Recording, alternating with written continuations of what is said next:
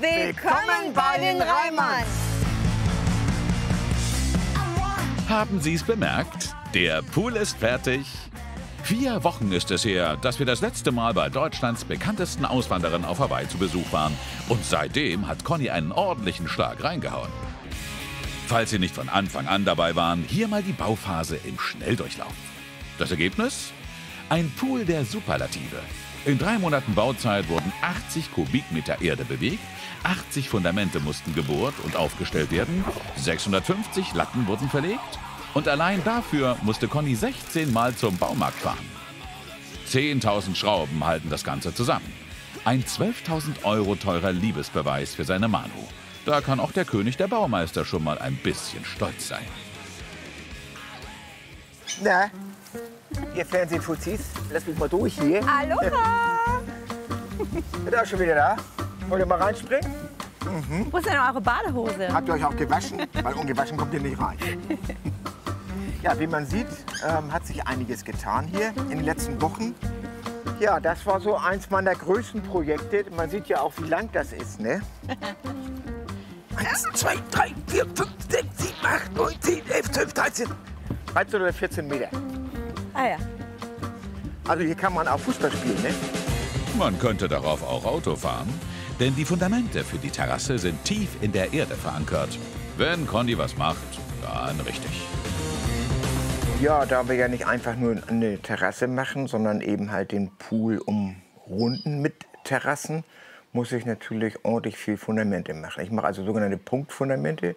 Das heißt, ich buddel ein Loch, mache das ungefähr 60 cm tief, 30, 40 cm breit. Da kommt dann der Pfeiler rein und Beton rein. Und wenn ich dann alle Pfeiler gesetzt habe für eine Terrasse, ne, dann gehe ich dann mit der Wasserwaage oder mit dem Laser rum, sichte die alle ab und dann kommen die Bretter dran. Das wird ein riesiges Deck. Tja, das hört sich immer so leicht an. Aber es war eine echte Plackerei. Selbst für den Handwerkerkönig. Ja schon fast am Ende angekommen. Haben die Bretter gereicht? Ähm, ich habe ja noch ein paar Bretter da hinten liegen, aber ich glaube, so drei, vier muss ich bestimmt noch mal nachholen. Und für sich habe ich jeden Tag mich auf die Arbeit gefreut. Bis auf einen Tag. Da hat er laut Schall gerufen. Ich habe mal wieder Glück im Unglück gehabt. Ne? Wir hatten ja beim Baggern schon mal das Güllerohr getroffen, beziehungsweise das alte Güllerohr.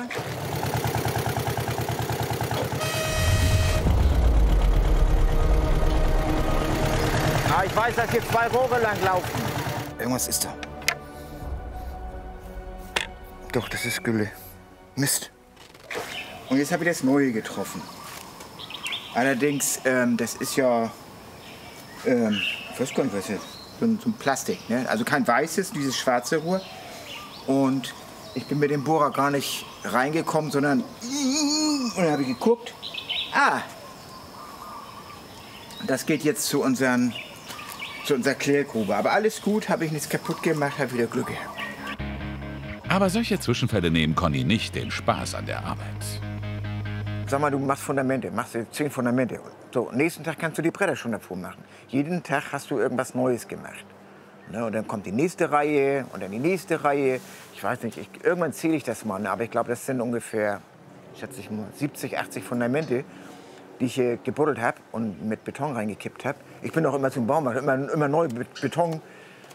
Weil ich wollte ja jetzt nicht so viel Beton hier hinschleppen. Wir sind in Hawaii, das ist immer ein bisschen feucht. Wenn du jetzt Beton irgendwo hinstellst, nach drei oder vier Wochen hast du dann einen Stein. Also kann ich immer nur so viel holen, wie viel zum Verarbeiten braucht. Ne?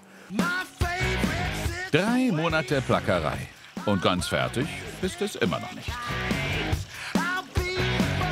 Hier werden wir dann noch mal, so wie da drüben, drei ähm, Palmpflanzen. Ne, hier so. Hier habe ich jetzt die Treppe runter, da kommt das Poolhaus hin. Man kann das vielleicht so erahnen, das geht so um die Ecke so ein bisschen, dann ist das versteckt. Und hier hinten, hier kommt eine neue Außendusche hin. Ein paar Kleinigkeiten fehlen also noch. Und erst jetzt wird Manu richtig bewusst, was Conny für sie da gebaut hat. Ja, das Ding ist halt auch am Anfang, das hier alles war bereits in Connys Kopf. Aber ich wusste halt nicht, wie, die, wie sieht es dann im Endeffekt aus. Ich versuche das manchmal Manu zu erklären, wie ich das vorhab. Ähm, aber äh, ich weiß es nicht. Da ist es einfach so, dass das. Äh, ich will nicht sagen, das technische Verständnis fehlt ein bisschen, aber es ist eben halt ein bisschen abstrakt. Ich erkläre das mal alles, wie, weil ich kann es ja erklären, weil ich es im Kopf habe, aber ähm, für den einen oder anderen ist das natürlich dann für einen Außenstehender völlig dann, was macht er denn da jetzt wieder? Ne? Aber als ich jetzt ähm, die erste Terrasse fertig hatte, da konnte sie so ahnen, wie das dann irgendwann aussieht.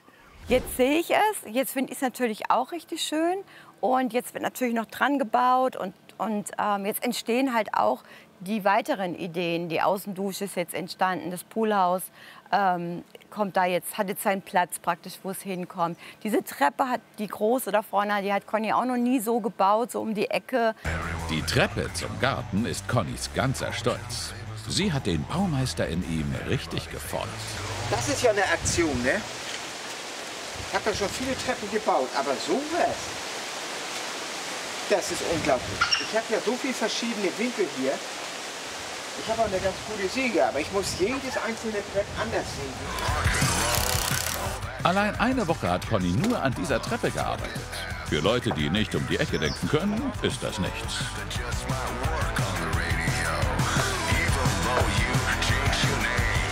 Es ist nicht schön, wenn das alles passt. Was bei großen Pools oft unterschätzt wird, ist die Reinigung. Auf Hawaii hat man gerne dafür einen Poolboy. Der der Reimanns heißt José. Wo ist, wo ist José? Der, der soll doch eigentlich arbeiten. Meine Güte. Das ist José. Den kann ich dann reinstecken und dann kommt er ins Wasser und dann rödelt er rum. Ich kann euch das mal zeigen, wie das geht. Ne? Ich, mal, da bin, steck ich bin der weibliche José. Ich mache das damit. Ne? Ich hole dann immer so die Blätter und die, die Tiere raus. Und das ist der, der Poolboy. Der So. sexy Poolboy. Das ist so ein Sauger. Der zieht sich das Kabel dann automatisch rein. Dann mache ich den an. Und in einer Stunde hat er alles sauber. Tja, das ist unser erster Angestellter. Ja, den brauchen wir nicht bezahlen, der frisst nur Strom. Also wie ihr seht, ne, das ist jetzt so in den letzten Wochen passiert. Aber wir sind ja noch lange nicht fertig. Ich denke mir mal, also sechs, sieben, acht Wochen brauche ich noch. Was, so lange? Naja, muss ja auch noch ein Geländer rum. Naja, ist mir ja Du eigentlich da egal. Solange ich da drin rumschwimmen kann, ist mir sehr egal, was um mich rum passiert. Ne? Du gehst doch da hinten, wenn du da in den Dschungel fällst, da gehst du doch verschütt. Wieso soll ich denn da hinfallen? ich bin du, doch hier weißt drin. du, wie hoch das ist? Ja, aber was soll ich denn da hinten? Ich bin doch hier im Wasser. Ich kenne dich. Irgendwann höre ich dich schreien, ne, kann ich nicht im Dschungel. Oh, guck mal, jetzt kommt er. Fein machst du das. Fein. Feini, feini, feini. Was macht er, wenn er an die Ecke kommt? Uh, Ja, der geht um die Ecke. hat sich's gelohnt bis jetzt? Oh mein Engelchen. Wenn ich den Pool nicht haben wollte, würde, hätte ich den nicht gebaut. Naja, ich meine, es hat ja sechs Jahre gedauert, bis er angekommen ist. Aber jetzt, ähm, wir sagen das jedes Mal, wir springen jeden Tag rein, mehrmals am Tag. Und wir sagen jedes Mal, dass, ähm, wie wir wohl leben konnten. Was vor haben wir dem eigentlich Pool. ohne Pool gemacht? Ja, also zum Pool, das ist schon ähm, was Schönes. Der Pool war schon lange ein Herzenswunsch von Manu. Aber welche Frau kann sich schon von ihrem Mann wünschen, dass er ihr einen eigenen Pool baut? Manu weiß genau, was sie an ihrem Conny hat. Für mich ist das so selbstverständlich. Ich kann mich manchmal gar nicht so in andere Leute reinversetzen, die dann erstmal einen Handwerker anrufen müssen, weil der Mann das nicht selber machen kann.